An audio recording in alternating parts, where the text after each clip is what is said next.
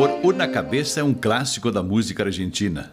A canção foi executada pelo acordeonista Diego Guerro, líder e maestro da Orquestra Sanfônica de Pato Branco, durante os trabalhos da Semana do Orçamento na Câmara de Vereadores. O que tem a ver a música com o evento? Tudo. Dinheiro para a cultura depende de orçamento, de planejamento do setor público. E quanto mais o público conhecer, melhor. De acordo com o palestrante, professor, autor e especialista em finanças públicas Paulo Henrique Feijó da Silva, democratizar o conhecimento sobre orçamento e finanças públicas é dar ao cidadão uma ferramenta importante para participar do dia a dia da política.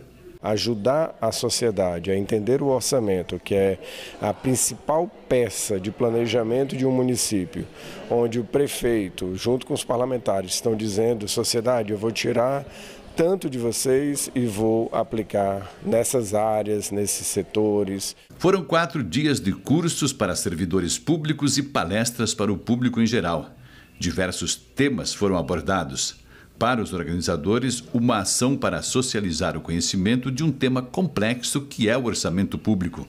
Trabalhamos dia e noite para nós conseguir trazer pessoas importantes para estar tá na nossa cidade, para estar tá na nossa Câmara de, de Vereadores, trazendo conhecimento aí, né, para a comunidade, para a população. Eu tenho certeza que todas as pessoas que participaram conosco saíram sabendo mais de orçamento e mais encantados com o assunto, tendo em vista que eles compreenderam a importância e quanto que impacta na nossa sociedade o planejamento do município.